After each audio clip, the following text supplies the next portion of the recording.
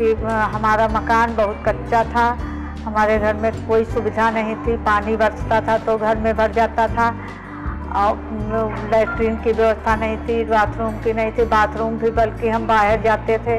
जंगल में लैट्रीन भी जंगल में जाना पड़ता था, पानी की व्यवस्था नहीं थी, बिजली की नहीं थी, अब हमारे घर में पंखे हैं और सारी सुविधा हमको दी है। प्रधानमंत्री जी ने हमको बहुत खुशी हुई है। प्रधानमंत्री जी को धन्यवाद